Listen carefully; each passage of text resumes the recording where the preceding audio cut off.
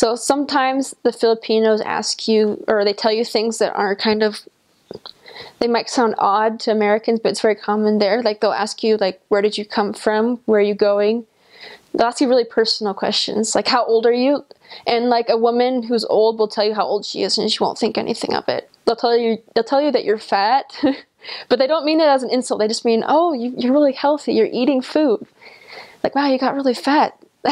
you just have to you just have to not take it personally because yeah because they'll just ask those kinds of questions and and they're okay with that